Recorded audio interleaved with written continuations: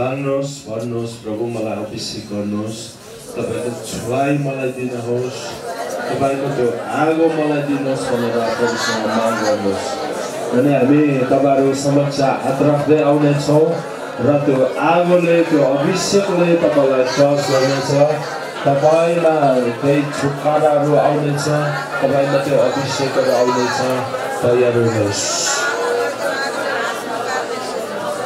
हाम्रो present worship गर्ने हाम्रो केही भाइ हुनुहुन्छ भने तपाईँ आउनु सक्नुहुन्छ यो समय। सहायता पुऱ्याइदिनुहोस्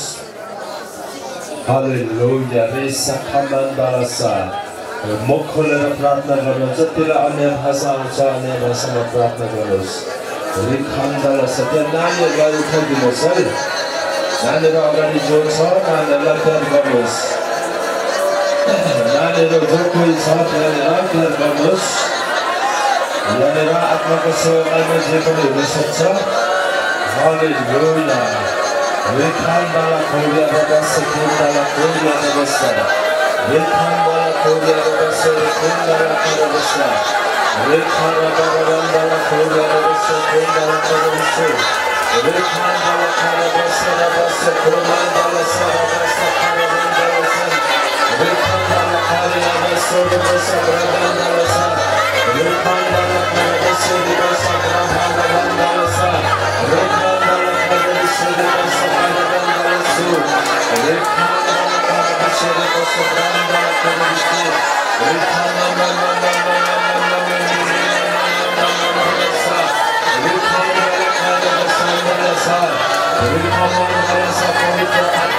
Shake! I'll be staying. I'll be staying.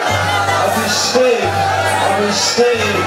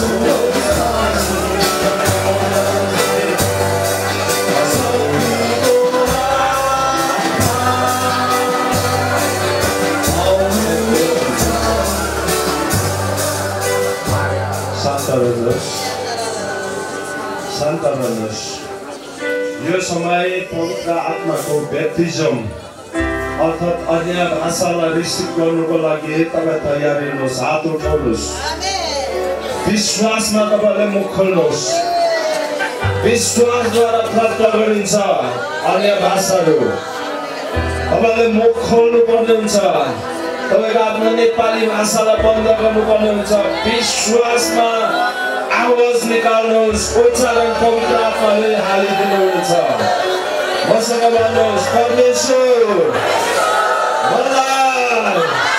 पवित्र आत्माको